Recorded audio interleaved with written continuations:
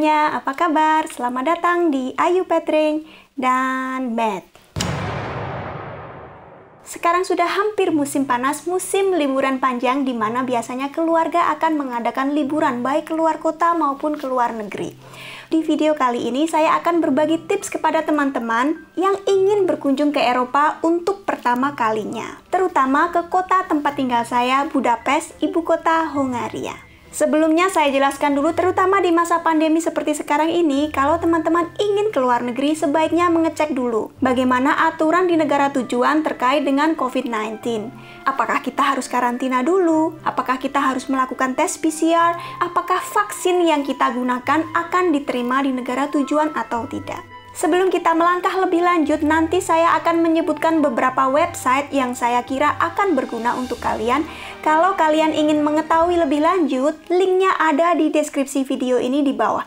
Tips pertama saya adalah paspor. Kalau kita akan ke luar negeri dan masa berlaku paspor kita kurang dari enam bulan, biasanya akan ditolak. Yang kedua, setelah paspor, kalau kita akan pergi ke Eropa, kita harus punya visa namanya visa Schengen. Schengen adalah wilayah di Eropa yang meliputi 26 negara, termasuk juga Hongaria. Kalau kita mau mengunjungi semua negara ini tadi, kita hanya butuh satu visa saja. Jadi ketika kita mendapatkan visa Schengen, kayaknya agak mubazir juga kalau kita hanya mengunjungi satu negara. Karena kebanyakan negara Eropa wilayahnya jauh lebih kecil daripada Indonesia. Taruhlah kita punya jatah budget dan waktu untuk seminggu mengunjungi Eropa, kita bisa sekaligus datang ke beberapa negara. Ini misalnya saja ya, teman-teman bisa mengunjungi Eropa Tengah dalam seminggu. Dua hari di Hongaria, kemudian dua hari di Vienna, ibu kota Austria. Dua hari di Republik Ceko, ibu kotanya Praha ya. Kemudian hari ketujuh kita gunakan untuk perjalanannya. Yang penting teman-teman harus punya visa Schengen ini tadi. Di mana tempat memohon visa ini tergantung tujuan kalian. Paling lama kita akan ada di negara yang mana. Jadi, di kedutaan besar negara tersebut, kita harus memohon visa. Oke, selanjutnya kita akan lebih fokus kepada Hongaria, khususnya kepada Budapest. Tapi teman-teman yang ingin mengunjungi negara lain di Eropa mungkin masih bisa juga memanfaatkan tip yang sama untuk perjalanan kalian. Berikutnya yang paling penting adalah tiket pesawat. Ketika kita memohon visa Schengen ataupun saya rasa visa ke negara lainnya, bukti booking tiket pesawat termasuk salah satu syarat. Banyak yang nanya ke saya, Mbak Ayu, berapa harga tiket PP dari Indonesia ke Hongaria. Nah, ini tergantung Indonesianya di mana dulu.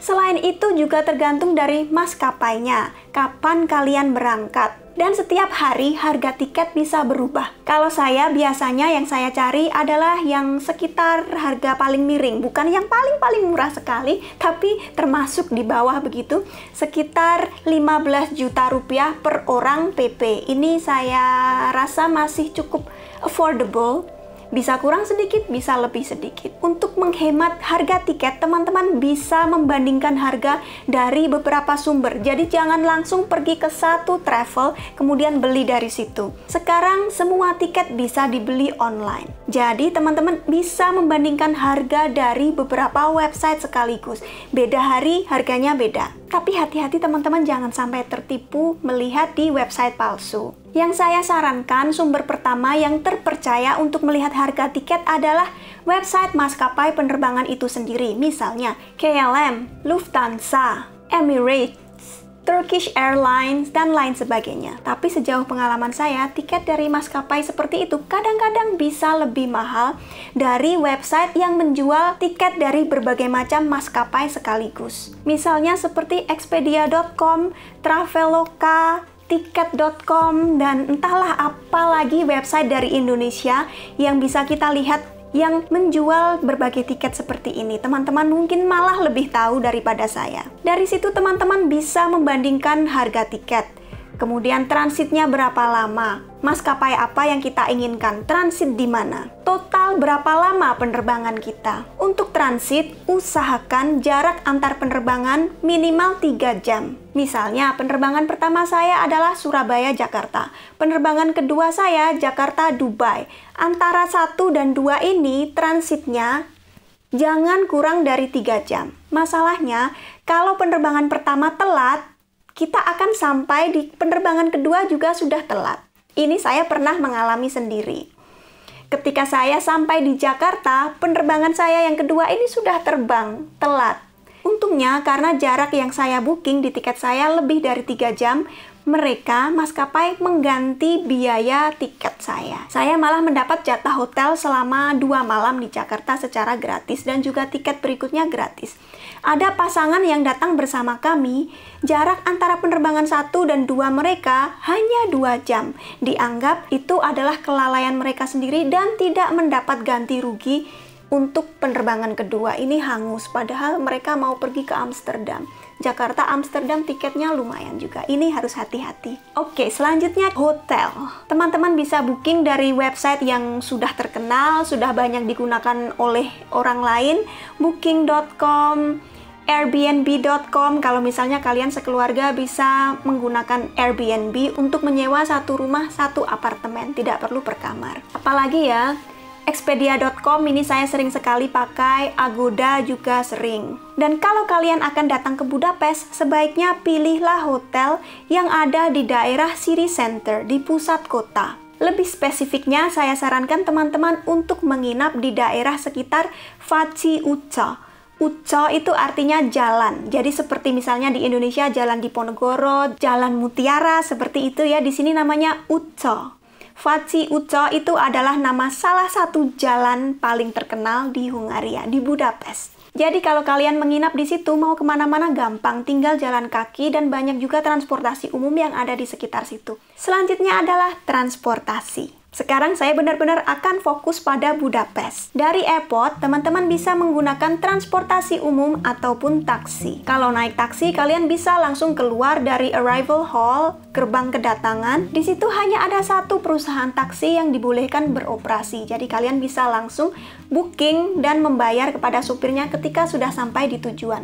Biasanya dari airport sampai ke tengah kota, kita akan membayar sekitar 10.000 forin atau 500.000 rupiah rupiah. Untuk transportasi umum dari airport, teman-teman bisa melihat linknya di deskripsi video ini di bawah. Karena kalian akan berada di Budapest sekitar dua hari lebih beberapa jam, dua hari lebih satu jam pun sudah dihitung tiga hari kan? Saya sarankan beli tiket transportasi untuk 72 jam harganya sekitar 4.150 forin atau 210.000 rupiah per orang ya, tapi ini kalian bisa bebas naik berapa kali selama durasi itu. Tiket ini bisa dibeli di kios koran yang ada di arrival hall atau di mesin penjualan tiket yang ada di setiap halte bus. Dari situ teman-teman bisa langsung meluncur ke hotel untuk istirahat. Selanjutnya, hari pertama di Budapest. Setelah kita istirahat tidur semalam, paginya kita akan siap menjelajah kota Budapest. Karena waktu kita hanya dua hari saja, kita harus benar-benar merencanakan semuanya agar waktu tidak terbuang di jalan. Selalu gunakan GPS seperti misalnya Google Maps agar kita tidak tersesat. Teman-teman bisa membeli SIM card dari airport, jadi sudah bisa digunakan sewaktu-waktu. SIM card di sini bebas roaming di seluruh Uni Eropa. Jadi kalau masih ada sisa paket data, kalian bisa membawanya ke negara Eropa yang lain tanpa harus membayar roaming. Oke, sekarang saya jelaskan sedikit tentang sejarah kota Budapest. Dulunya, kota ini merupakan dua buah kota, yaitu Buda dan Pest, yang dibelah oleh sungai Danube. Hari pertama kita akan habiskan di Pest dulu, karena kita menginap di Faci Uca yang terletak di Pest. Pagi-pagi setelah bangun, teman-teman bisa menyusuri jalan paling terkenal di Budapest yaitu Faci Uca. Ada banyak toko yang menjual souvenir, ada banyak makanan di situ. Tentu saja karena lokasi turis, di situ makanannya jauh lebih mahal daripada di luar. Biasanya kalau harganya ditulis dalam euro, itu sudah pasti mereka membidik turis asing yang tidak tahu apa-apa.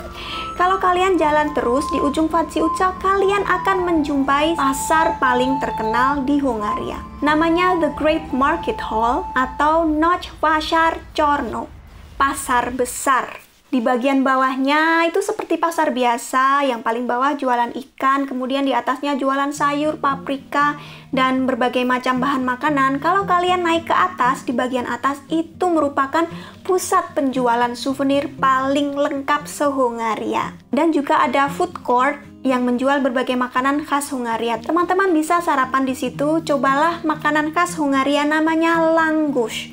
Tulisannya seperti ini, ini bacanya bukan langus, tapi langgus. Ini adalah roti goreng, rasanya persis seperti cakwe di Indonesia, tapi mereka ada berbagai macam topping yang bisa kita pilih.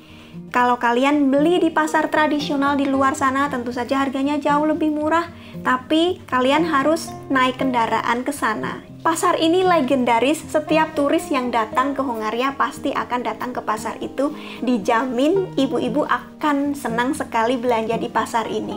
Kalau teman-teman sudah puas lihat di Google Maps, ada yang namanya gereja atau basilika Saint Stephen. Di sini kemungkinan bapak-bapak yang akan suka, terutama teman-teman yang suka dengan sepak bola karena di dalamnya ada makam pembola paling terkenal di Hongaria, Ferenc Puskas.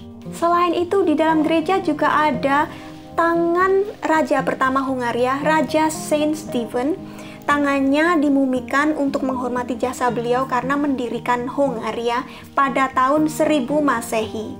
Keluar dari gereja pasti sudah lapar karena sudah waktunya makan siang. Teman-teman akan berada di Vorosh Marti Ter.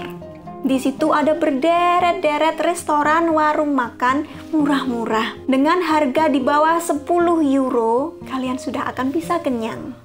Ada banyak pilihan makanan di sini mulai dari makanan lokal, makanan western yang lainnya, makanan Asia sampai vegetarian. Setelah makan, kalau teman-teman ingin dessert, di situ ada es krim yang sangat unik karena es krimnya berbentuk mawar. Cocok banget untuk masuk Instagram. Setelah kenyang, kita sekarang akan menuju ke gedung parlemen terindah di dunia atau gedung DPR Hongaria. Teman-teman bisa naik tram nomor 2. Perjalanan ini dekat saja 11 menit kalau naik tram.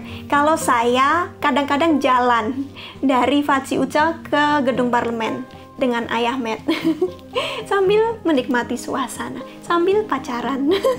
Di gedung parlemen, kalau kita hanya mau mengagumi keindahan arsitekturnya, tidak akan butuh lama. Tapi kalau teman-teman ada budget lebih dan ingin masuk ke dalam, ada tour ke dalam gedung parlemen, tentunya harus bayar.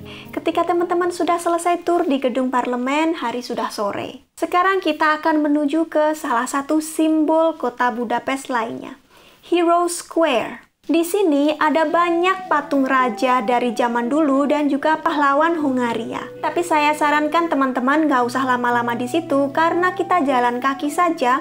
Ada satu istana yang cukup menarik untuk dikunjungi.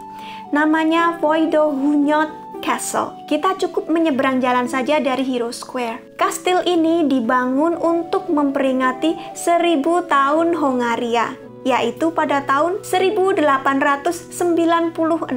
Jadi Hongaria memang negara yang sangat tua. Kastil ini pernah menjadi lokasi syuting film drama Netflix The Witcher. Videonya ada di bawah. Dari istana ini, kita cukup jalan 5 menit akan sampai di sebuah pemandian air panas namanya pemandian Secenyi. Setelah kita capek, jalan seharian teman-teman bisa santai sejenak di dalam. Baju renang pun bisa menyewa dari situ. Bisa berendam air sambil main catur atau sekedar santai-santai saja. Katanya kolam air panas seperti ini sangat menyehatkan untuk tubuh kita dan bisa menyembuhkan beberapa macam penyakit. Silahkan di google saja, saya bukan ahlinya. Hari sudah malam, pasti teman-teman capek. Silahkan kembali ke hotel. Kalian bisa makan malam di sekitar hotel, akan banyak tempat makan di sana. Atau kalau tidak, bisa kembali ke sekitar basilika yang kita kunjungi tadi, di situ tempat makannya lebih murah. Jangan lupa tidur, besok kita akan jalan-jalan lagi. Hari kedua di Budapest, kita sekarang akan mengunjungi daerah Buda yang merupakan kawasan elit di kota Budapest.